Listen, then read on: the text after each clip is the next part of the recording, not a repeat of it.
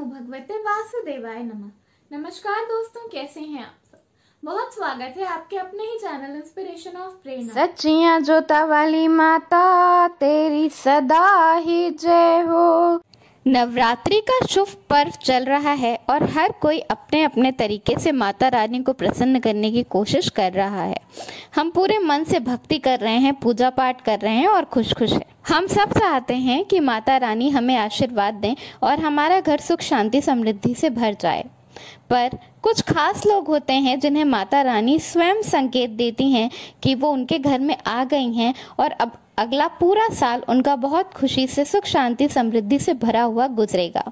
ये कुछ खास संकेत हैं जो माता रानी आखिरी के तीन दिनों में यानी कि सप्तमी, अष्टमी और नौमी वाले दिन देती हैं। आज मैं आपको बताऊँगी कि वो कौन से संकेत हैं जो माता रानी आखिरी के तीन दिनों में देती हैं और अगर आपको उनमें से कोई भी एक संकेत अपने सामने या सपने में दिखाई दे तो समझ लीजिएगा कि माता रानी आप पे प्रसन्न हैं और अगला पूरा साल आपका सुख, शांति और समृद्धि से भरा रहेगा। माता रानी की पूजा पाठ करने के लिए हम सबने अपने घर में कलश स्थापित किया है। कलश के साथ जो आपने जौ बोया है, उसका श्वेत यानी कि सफ़ेद या हरे रंग में उगना बहुत ही शुभ माना जाता है। ऐसा माना जाता है कि माता रानी आपको संकेत दे रही हैं कि वो आपसे अति प्रसन्न हैं और आपका अगला पूरा साल बहुत ही सुख समृद्धि से बीतेगा।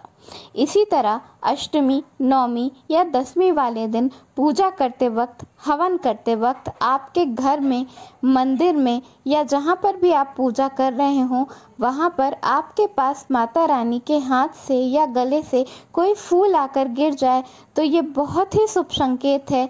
ये संकेत है कि माता रानी आप पे प्रसन्न है और अपना आशीर्वाद आपको दे रही हैं। उस फूल को अपने पास उठाकर रख लें और फिर पूरे साल उसे अपने पास ही एक लाल कपड़े में बाँध कर अपने पर्स में या तिजोरी में रख दें माँ का आशीर्वाद आप पे सदैव के लिए बना रहेगा। शाम के समय पूजा करते वक्त या पूजा करने के बाद, शाम ढल जाने के बाद या शाम के समय अगर आपको गाय की आवाज़ सुनाई देती है तो ये बहुत ही शुभ माना जाता है। ऐसा माना जाता है कि माता रानी आपको संकेत दे रही हैं कि वो आपके घर में पधारी हैं और आपका घर अब सुख, शांति और समृद्धि से भरा रहेगा।